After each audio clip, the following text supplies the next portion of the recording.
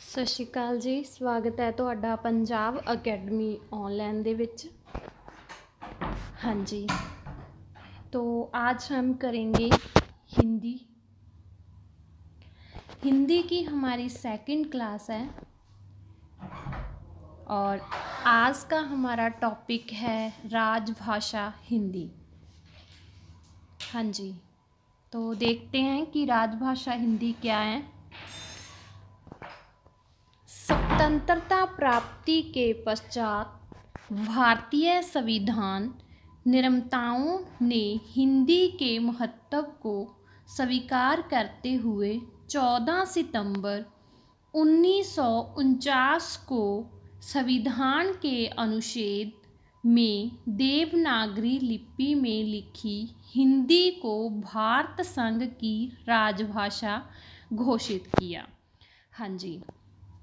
जो हमारी भाषा थी उसे, राजभाषा थी उसे कब घोषित किया? तो घोषित किया था चौदह सितंबर उन्नीस सौ उनचास को। और कौन से अनुच्छेद में? तीन सौ तरतालीस में। देवनागरी लिपि में लिखी हिंदी को भारत संघ की राजभाषा घोषित किया। एक बार फिर देख लो। स्वतंत्रता प्राप्ति के पश्चात भारतीय संविधान निर्मताओं ने हिंदी के महत्व को स्वीकार करते हुए 14 सितंबर उन्नीस सौ उनचास को संविधान के अनुच्छेद तीन सौ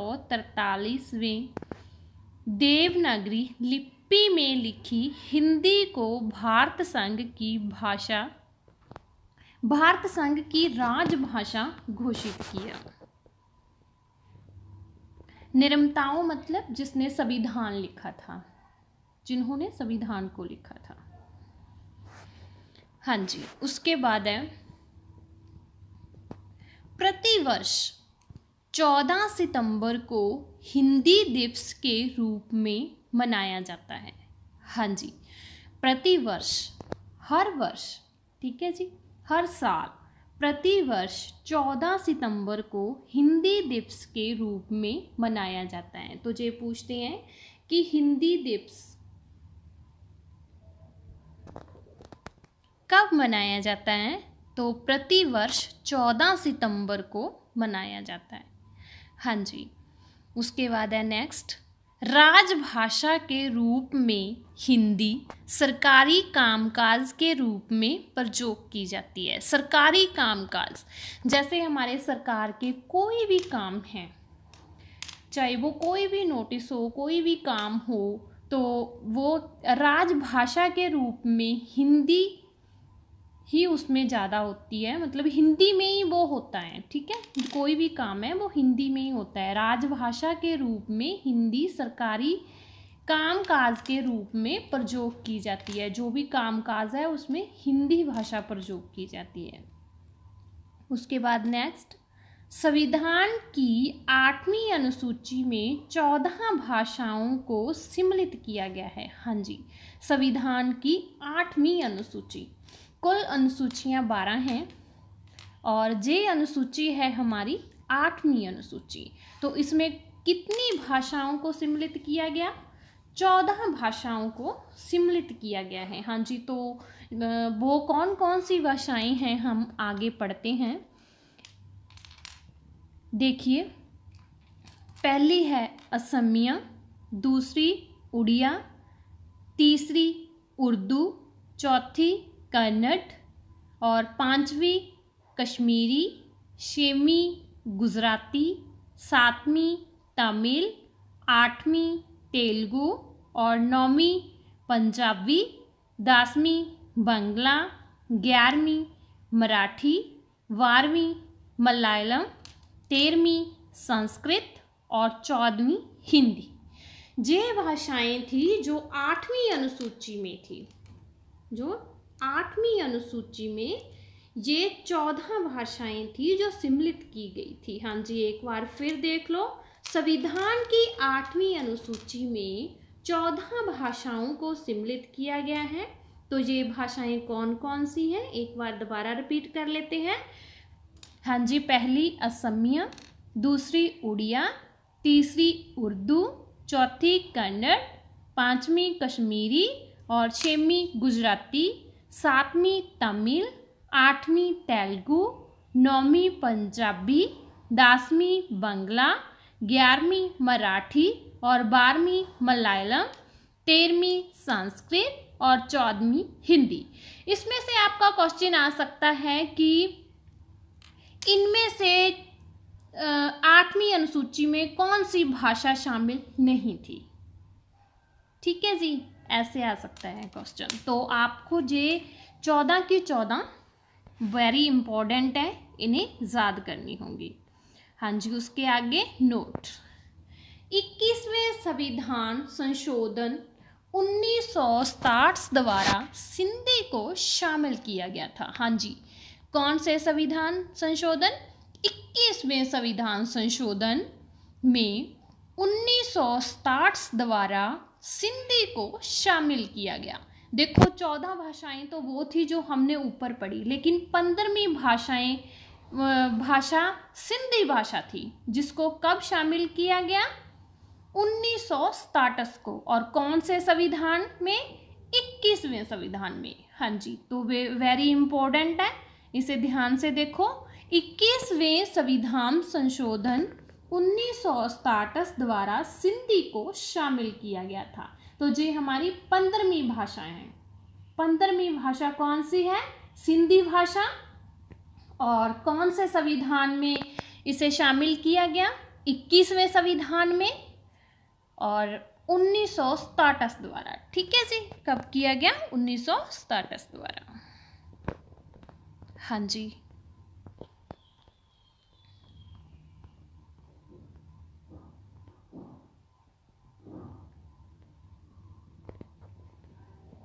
हाँ जी, आगे देखिए। इकहत्तरवें संविधान संशोधन। अब आ गया इकहत्तरवें। संविधान संशोधन उन्नीस सौ बानवे में तीन भाषाएँ जोड़ी गई। इकहत्तरवें संविधान संशोधन उन्नीस सौ बानवे में तीन भाषाएँ जोड़ी गई। उन्नीस सौ बानवे में आप बहुत में से आपका वर्डे होगा। उन्नीस सौ बानवे में कितनी भाषाएँ जोड़ी गई? ऐसे क्वेश्चन आ सकता है। तो कितनी जोड़ी गई? तीन जोड़ी गई। और वो भाषाएँ कौन सी थी? तो आगे देखते हैं हम कौन सी थी। नेपाली, कोंकणी, मणिपुरी। हाँ जी, नेपाली, कोंकणी, मणिपुरी। और कौन से संविधान द्वारा जोड़ी गई? इकहत्तरवें संविधान द्वारा। कब जोड़ी गई? उन्नीस सौ में कितनी भाषाएँ जोड़ी गई? तीन भाषाएँ जोड़ी गई। और कौन कौन सी थी वो? नेपाली, कोंकणी और मणिपुरी। हाँ जी नेक्स्ट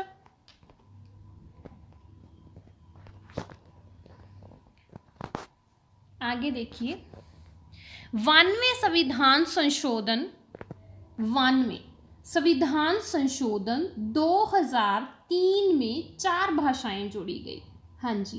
तो 2003 में कितनी भाषाएँ जोड़ी गई? चार भाषाएँ जोड़ी गई। कौन से संविधान में? वनवे संविधान में।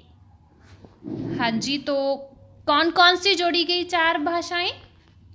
मैथिली, डोगरी, बोडो, संथाली। मैथिली, डोगरी, बोडो, संथाली। यह भाषाएँ थी। हाँ जी तो कुल कितनी भाषाएँ हैं? बाईस भाषाएँ हैं, ठीक है जी? हिंदी भाषा की विशेषताएँ और प्रकृति। हिंदी भाषा की विशेषताएँ और प्रकृति। इसके बारे में देखते हैं। भाषा प्रत्येक संपत्ति नहीं है। हाँ जी, क्या लिखा है फ़र्स्ट लाइन में? भाषा प्रत्यक्ष संपत्ति नहीं है। प्रत्यक्ष संपत्ति मतलब जे सीखनी पड़ती है। जैसे बच्चा जन्म लेता है, वो जन्म के समय तो भाषा नहीं ना सीख कर आता। समाज में आता है, बोलना सीखता है, लिखना सीखता है, पढ़ना सीखता है, फिर ही उसे पूरी भाषा का ज्ञान होता है। हाँ जी तो इसीलिए लिखा है कि भाषा प्रत्यक्ष संपत्ति नहीं है, इसे सीखना पड़ता है। उसके बाद नेक्स्ट है, भाषा अर्जित संपत्ति है। हाँ जी, वही पॉइंट है, देखो, भाषा अर्जित संपत्ति है, इसे सीखना पड़ता है, ठीक है जी? भाषा को अर्जित करना पड़ता है। भाषा का कोई अंतिम स्वरूप नहीं है हाँ जी, भाषा का कोई अंतिम स्वरूप नहीं है। भाषा कठिनता से सरलता की ओर जाती है। भाषा कठिनता से सरलता की ओर जाती है। कठिनता से सरलता की ओर। देखो, जब हम भाषा सीखते हैं, जब हम पढ़ना सीखते हैं तो बहुत मुश्किल लगता है हमें कि ये क्या है, कैसे है, कुछ भी पता नहीं चलता, है ना? जब धीरे धीरे हम उसे सीख जाते हैं तो वो जो हमें बहुत मतलब कठिन लगता है तो वो धीरे धीरे हमें सरलता का रूप देता है। फिर बाद में लगता है कि इसमें तो कुछ भी नहीं था। भाषा कठिनता से सरलता की ओर जाती है। मतलब पहले जो हम सीखते हैं, वो कठिन लगता है, लेकिन जब हम सीख जाते हैं तो वो बहुत सरल बन जाता है। इसलिए लिखा है कि भाषा कठिनता से सरलता की ओर जाती है। हाँ जी नेक्स्ट क्वेश्चन नेक्स्ट पॉइंट भाषा का अर्जन अनुकरण द्वारा होता है। हाँ जी, भाषा का अर्जन अनुकरण द्वारा होता है। अनुकरण द्वारा मतलब देख कर सीखना किसी चीज़ को। अनुकरण सीखना ही होता है, ठीक है जी? नकल करना, सीखना, नकल करना, अनुकरण, किसी की नकल करके सीखना। भाषा का अर्जन अनुकरण द्वारा होता है। प्रत्येक भाषा की भौगोलिक एवं ऐतिहासिक सीमा होती है। हाँ जी, देखो अनेक इतिहास वगैरह लिखे हैं। ठीक है जी? प्रत्येक भाषा की भौगोलिक एंगम एवं ऐतिहासिक सीमा होती है। हाँ जी, आगे देखो। भाषा के विविध रूप। भाषा के विविध रूप। तो पहले देखते हैं मूल भाषा। हाँ जी, मूल भाषा। जिस भाषा से अन्य अनेक भाषाएँ निकलती हो। जिस भाषा से अन्य अनेक भाषाएँ निकलती हो, जैसे संस्कृत से हमारी हिंदी भाषा निकली है। ठीक है जी? तथा जिसके किसी अन्य भाषा से निकलने का पता न हो, लेकिन संस्कृत जो भाषा है, हमें उसका कुछ पता नहीं है कि वो कहाँ से निकली है। हिंदी का तो हमें पता है कि ये संस्कृत से निकली है। लेकिन संस्कृत का तो हमें नहीं पता है कि ये कहाँ से निकली है। ठीक है जी? एक बार दोबारा देखो। मूल भाषा, जिस भाषा से अन्य, अनेक भाषाएँ निकलती हो तथा जिसके किसी अन्य भाषा से निकलने का पता न हो, जैसे संस्कृत। उसके बाद राजभाषा। राज्य भाषा हाँ जी राज्य भाषा किसी राज्य द्वारा विचार, विनियम के साधन के रूप में स्वीकृत भाषा को राज्य भाषा कहते हैं। आपस में आदान प्रदान करना, बातचीत करना, ठीक है जी? राज्य भाषा कहते हैं, आज संपूर्ण देश में विभिन्न राज्यों में विभाजित है। आज संपूर्ण देश में विभिन्न राज्यों में विभाजित हैं और प्रत्येक राज्य की राज्य कार्य चलाने के लिए एक भाषा है यह भाषा राज्य भाषा कहलाती है। हाँ जी, एक बार दोबारा देखो, किसी राज्य द्वारा विचार विनियम के साधन के रूप में स्वीकृत भाषा को राज्य भाषा कहते हैं। आज संपूर्ण देश में विभिन्न राज्यों में विभाजित है और प्रत्येक राज्य की राज्य कार्य चलाने के लिए एक भाषा है। हाँ जी, जैसे राज्य कार्य चलाने के लिए एक भाषा है। जैसे आप देखोगे कि पंजाब की राजभाषा पंजाबी है और जो भी काम करना होता है, वो पंजाबी में होता है। जो सरकारी काम काज करने होते हैं ना, पंजाब में कोई भी नोटिस है, कोई भी काम है, किसी भी कार्य का काम है, जो सरकारी काम है तो वो पंजाबी में ही होगा। जय भाषा, राज्य भाषा कहलाती है। हाँ जी, जैसे जहाँ पे लिखा भी हुआ है, देखो आगे। पंजाबी लिखा हुआ है, बच्चे जे पंजाबी नहीं है, जे पंजाब है, ठीक है? लिखने में थोड़ी सी मिस्टेक हो गई, जे पंजाब है। हाँ जी तो आप देखो, पंजाब की राजभाषा पंजाबी है जैसे। हाँ मैंने अभी बताया ना आपको, ते तो वही बात है जी कि पंजाब की राजभाषा पंजाबी होती है। राष्ट्रभाषा जा राज्य भाषा राष्ट्रभाषा जा राजभाषा जे एक ही बात है। चाहे राष्ट्रभाषा कह लो, चाहे राजभाषा कह लो। जब किसी भाषा को संसद राष्ट्र की भाषा मान ली जाती है, तब वह राष्ट्रभाषा कहलाती है। हाँ जी, जब किसी भाषा को संसद राष्ट्र की भाषा मान ली जाती है, तब वह राष्ट्रभाषा कहलाती है। किसी राष्ट्र में सार्वजनिक रूप से प्रयुक्त होने वाली भाषा जिसका प्रयोग संपूर्ण राष्ट्र में किया जाता है राष्ट्रभाषा कहलाती है। किसी राष्ट्र में सार्वजनिक रूप से प्रयुक्त होने वाली भाषा जिसका प्रयोग संपूर्ण राष्ट्र में किया जाता है राष्ट्रभाषा कहलाती है। आज हमारी जो हिंदी है ये भारत की राष्ट्रभाषा है। हाँ जी, जो हमारी हिंदी है, ये भारत की राष्ट्रभाषा है। लेकिन संविधान में इसका नाम राजभाषा से जाना जाता है। हाँ जी तो संविधान में इसका नाम किससे जाना जाता है? राजभाषा से जाना जाता है। ठीक है जी, आगे देखो। अंतरराष्ट्रीय भाषा। हाँ जी, अंतरराष्ट्रीय भाषा। अंतरराष्ट्रीय भाषा क्या होती है? देखते हैं। शासन या अन्य किसी अभाव से जब किसी भाषा का प्रयोग एक से अधिक राष्ट्रों में होने लगता है। शासन या अन्य किसी अभाव से जब किसी भाषा का प्रयोग एक से अधिक राष्ट्रों में होने लगता है। जैसे अंग्रेज़ी भाषा है। अंग्रेज़ी भाषा हमारे भी जहाँ बोली जाती है। और अपने में तो बोली जानी जानी है। ठीक है जी। तो उसका प्रयोग एक से ज़्यादा राष्ट्रों में होने लगता है ना? जैसे हमारे भी बोलते हैं तो उसे अंतर्राष्ट्रीय भाषा का पद प्राप्त होता है, जो भाषा एक से अधिक राष्ट्रों में होने लगती है। ठीक है? बोली जाती है। तो उसे अंतर्राष्ट्रीय भाषा का पद प्राप्त होता है। जैसे मैंने आपको बता ही दिया अंग्रेज़ी भाषा। हाँ जी, एक बार फिर देख लो। शासन जहाँ अन्य किसी अभाव से जब किसी भाषा का प्रयोग एक से अधिक राष्ट्रों में होने लगता है तो उसे अंतर्राष्ट्रीय भाषा का पद प्राप्त होता है। जैसे अंग्रेज़ी भाषा। हाँ जी तो कुछ क्वेश्चन हैं आगे हमारे।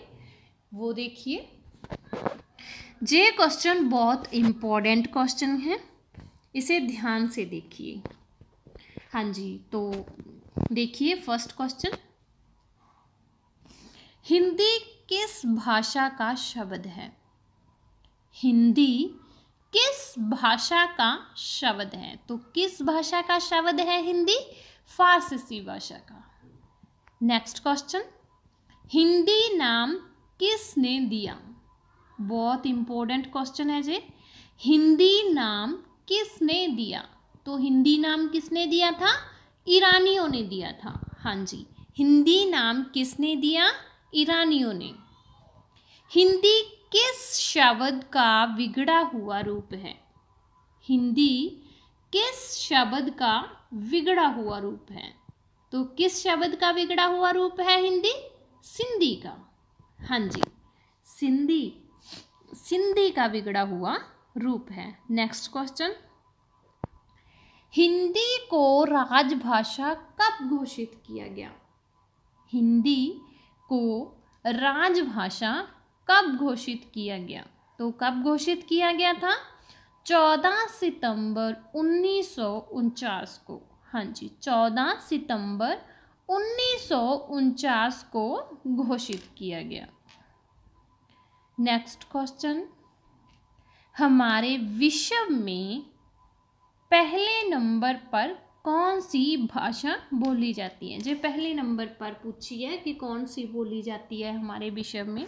और जो हमारी हिंदी भाषा है, वो हमारे विश्व में तीसरे नंबर पर बोली जाती है। ठीक है जी?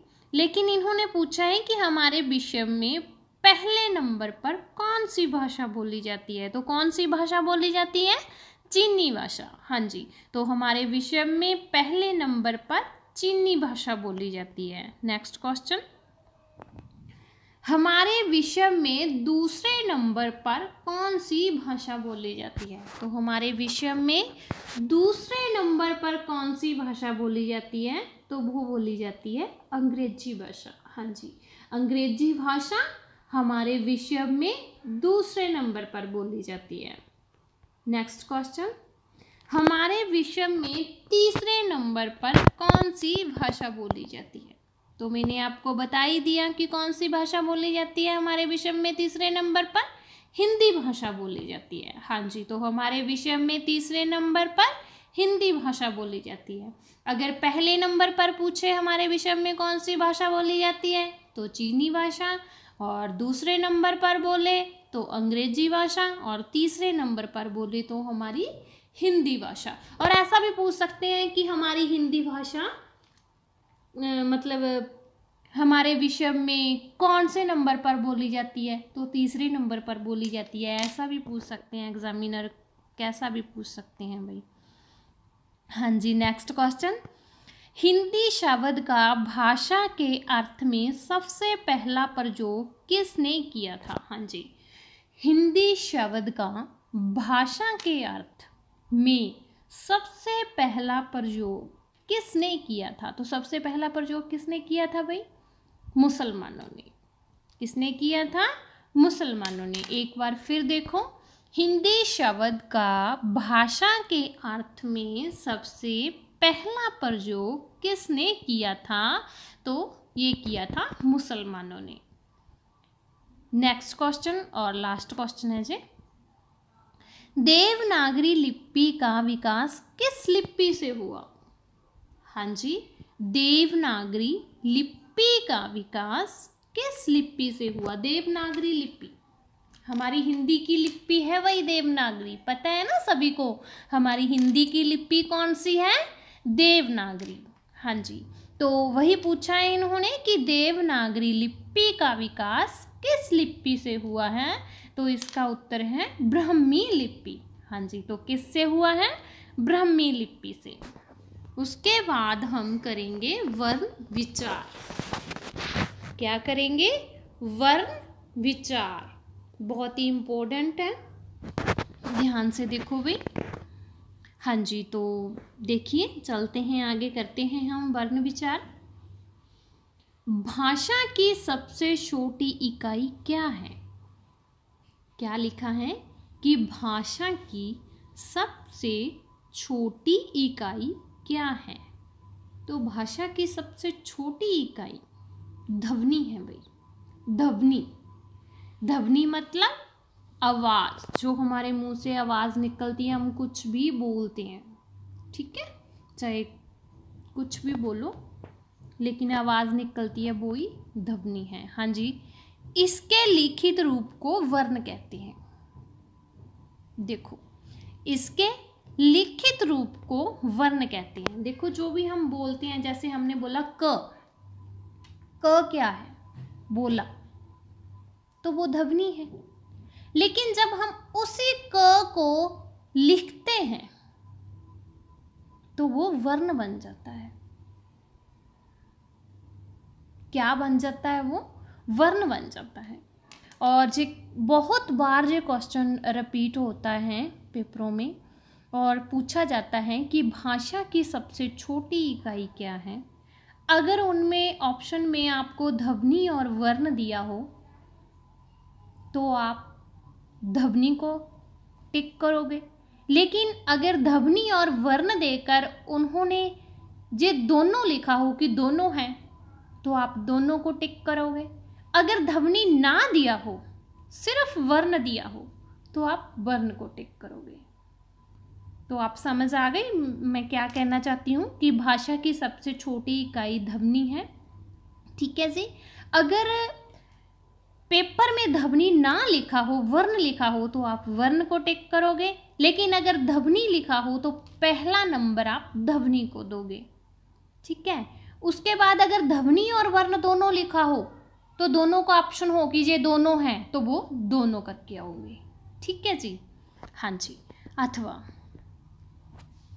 वर्ण वह छोटी से छोटी ध्वनि है। हाँ जी?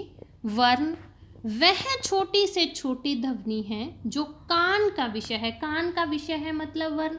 जब हम बोलते हैं तो वो दूसरों के कान तक पहुँचती है आवाज़। तभी तो हम समझ पाते हैं कि इसे क्या कहता है। कान तक पहुँचती है, इसीलिए कहा गया है कि कान का विषय है। ठीक है? सुनाई देता है मुझे। कान से सुनाई देता है ना हमें? जो कान से सुनाई देता है। इसीलिए इस ध्वनि को कहा गया है कि वर्ण वह छोटी से छोटी ध्वनि है जो कान का विषय है। हाँ जी तो ऐसा भी पूछ सकते हैं कि वर्ण छोटी से छोटी ध्वनि है, वो किसका विषय है? तो कान का विषय है। जिसके टुकड़े नहीं किए जा सकते। हाँ जी। तो आगे क्या कहते हैं? जिसके टुकड़े नहीं किए जा सकते। हाँ जी, इसके टुकड़े नहीं किए जा सकते। ठीक है जी। एक बार फिर देख लो, वर्ण वह छोटी से छोटी ध्वनि है जो कान का विषय है और जिसके टुकड़े नहीं किए जा सकते। हाँ जी तो ये कौन कौन सी हैं? देखो आगे। पहले हो गया ध्वनि जो आवाज़ है, हमारे मुँह से आवाज़ निकलती है। और फिर सेकंड नंबर पे हो गया वर्ण, जो हमारे, मुख से निकली आवाज़, उसको हमने लिख दिया। जैसे हमने लिखा क, बोला क और फिर लिखा। ठीक है? वो वर्ण बन गया। उसके बाद होता है अक्षर। हाँ जी, उसके बाद होता है अक्षर। हाँ जी, जैसे हम दो वर्णों को जोड़ के कुछ लिखते हैं, कुछ ना कुछ उसका मतलब निकलता है, वो अक्षर हो जाता है। ठीक है जी? तो इनमें अंतर, कि इनमें क्या अंतर है हम आगे करेंगे। देखते हैं कि इनमें क्या अंतर है, आपको अच्छे से समझ आ जाएगा। सबसे पहले हम देखते हैं ध्वनि मुँह से उच्चारित, मुँह से उच्चारित। हमने आपको काफ़ी बारी बार बता दिया है कि मुँह से उच्चारित जो हम मुँह से शब्द बोलते हैं, कुछ ना कुछ बोलते हैं। ठीक है जी? उसे जो आवाज़ आती है बोलने से, देखो जैसे हमने बोला, अ, आ, क, ग आदि। ध्वनियाँ है। जो भी हमने बोला, अपने मुँह से बोला, और जिसकी आवाज़ क्या थी? अ, आ, क, ग आदि ध्वनियाँ हैं। ठीक है जी? हाँ जी धबनी का मतलब आवाज़ होता है, जी मैंने आपको काफ़ी बार बता दिया है, और आप इसे अच्छे से करो, ठीक है जी? उसके बाद हम करेंगे वर्ण। क्या है? ध्वनि के बाद है वर्ण। धवनियों के लिखित रूप को वर्ण कहते हैं। ध्वनियों के लिखित रूप को वर्ण कहते हैं। उदाहरण के लिए, जैसे हमने बोला, अ और फिर लिखा। फिर बोला क और फिर लिखा, जो रिटर्न में हो गया। ठीक है? जो लिखती रूप में हो गया। उसे कहते हैं वर्ण जब हम बोलते हैं तो वह ध्वनि होती है। बहुत बार बता दिया आपको। लेकिन जब हम लिखते हैं तो वह वर्ण बन जाते हैं। जो, आपको समझ अच्छी तरह से आ गया होगा मेरे हिसाब से। और इम्पोर्टेंट बात क्या है कि इसके टुकड़े नहीं होते। इसके टुकड़े नहीं होते। जैसे हमने लिखा ग, क। जो लिखा है, आप देख रहे हो। ठीक है जी, इसके टुकड़े नहीं होते। यह अधूरे हैं। यह पूरा नहीं लिखा हुआ, अधूरा है। ठीक है, इसके टुकड़े नहीं किए जा सकते, इसे वर्ण कहते हैं। हाँ जी, इसके टुकड़े नहीं किए जा सकते इसे वर्ण कहते हैं। उसके बाद आ गया हमारा अक्षर। क्या आ गया? हमारा अक्षर। जो, हमने तीन ही करने थे ना। पहले ध्वनि, फिर वर्ण और तीसरा क्या है? अक्षर। बस यही अंतर है इसमें। जो अक्षर देखते हैं क्या है? किसी एक ध्वनि जहाँ ध्वनि समूह की उच्चारित न्यूनतम इकाई को अक्षर कहते हैं। हाँ जी। किसी एक ध्वनि जहाँ ध्वनि समूह की उच्चारित न्यूनतम को अक्षर कहते हैं अथवा वह छोटी से छोटी इकाई अक्षर है। वह छोटी से छोटी इकाई अक्षर है जिसका उच्चारण बाजू के एक झटके से होता है। बाजू के एक झटके से, जैसे हम एकदम कुछ बोलते हैं, एकदम कुछ बोलते हैं, जैसे क्या? कैसे? जी। हाँ। एक झटके से बोलते हैं। इसी प्रकार से। वह छोटी से छोटी इकाई अक्षर है, जिसका उच्चारण वाजू के एक झटके से होता है, जैसे, देखो, आ, जी, क्या, आम, आदि। जैसे मैंने बताया था ना, कि एक झटके में जो बोला गया, उसे अक्षर कहते हैं। ठीक है जी? हाँ जी, जैसे आ, जी, क्या, आम आदि। एक बार फिर देखो। वह छोटी से छोटी इकाई अक्षर है जिसका उच्चारण वाजू के एक झटके से होता है, जैसे आ, जी, क्या, आम आदि। तो आपको ये टॉपिक अच्छे से समझ आ गया होगा मेरे हिसाब से। हाँ जी, हमने इसमें वर्णमाला में वर्ण विचार में जो किया है, ध्वनि और वर्ण और अक्षर। ठीक है जी। तो आज की क्लास हमारी इतनी ही थी।